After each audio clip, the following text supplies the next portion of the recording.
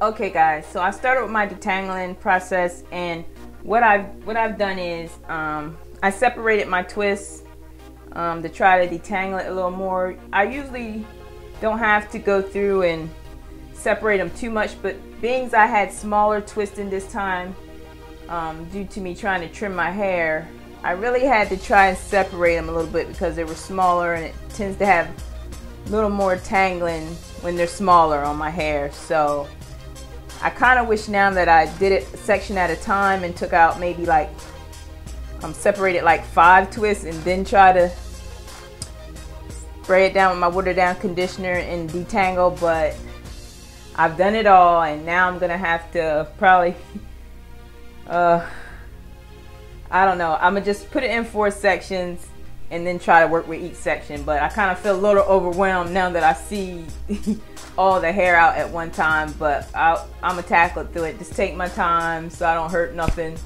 and and get it get it done. But just try to put it in four sections, do a section at a time, and hope everything will be all right. So this is how it looks when it's like all like stretched out now. Just back. Okay, guys, and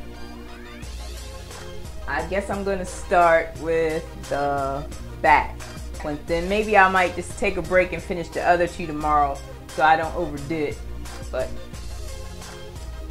I'll show you guys that. Okay guys, so I've sectioned it, sectioned it in four sections and just put them in the big twist like that and Unfortunately, I'm to have to call it a night. I'm not to start this detangling process with each one. Um, yeah, so time out. It's time for a break. I'm just to pin it um, back like this and it'll be fine. Okie dokie.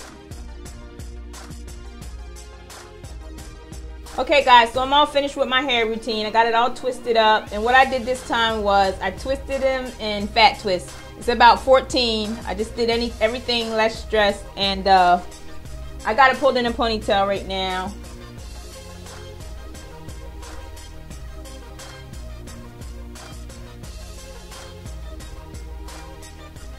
Like that. And since I got them in big twist this time, I'll probably just a week later, untwist one twist at a time, smooth it with moisturizer and twist it back up so I could keep the frizz under control. I won't detangle it or anything when I untwist it and I won't co-wash it.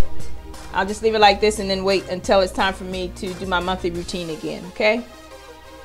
So that's that, guys. And I'll talk to you guys later. Bye.